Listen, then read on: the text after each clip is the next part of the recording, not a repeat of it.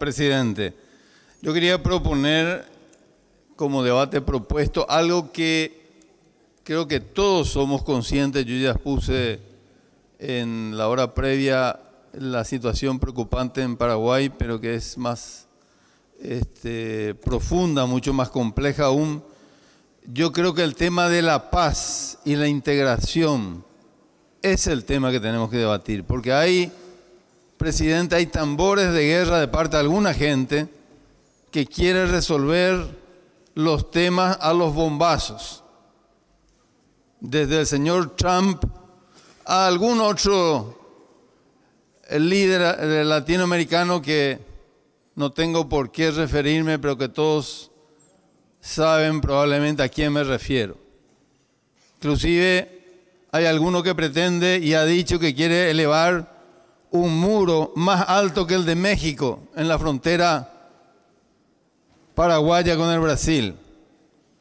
Esos son actos hostiles, denigrantes, que realmente preocupan.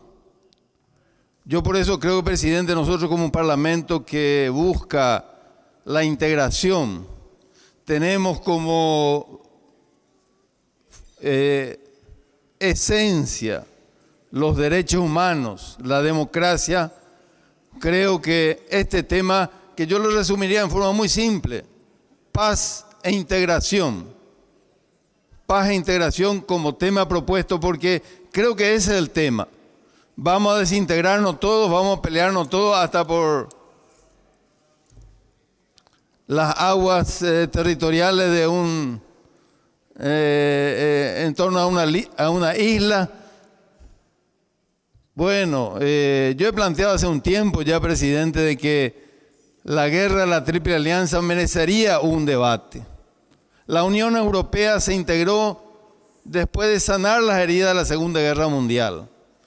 Nosotros tenemos unas heridas profundas en relación a la guerra de la Triple Alianza, profundas. Y también hay un líder latinoamericano que ha reivindicado al comandante de las fuerzas de la Triple Alianza que han realizado un genocidio del pueblo paraguayo. Y uso genocidio porque no encuentro otra palabra que pueda expresar cuando se asesina al 90% de la población masculina, se asesina a niños, a mujeres y se incendian hospitales. Pero no ese debate que yo ya lo propuse hace unos años, también he presentado eh, una propuesta para que se declare el 16 de agosto, el día del asesinato de miles de niños en Acostañú, como el Día del Niño del Mercosur, reivindicando con una historia y negando a aquellos genocidas como los líderes de Alemania no tienen ningún problema en negar a los genocidas nazis que han eh, gobernado su país un tiempo.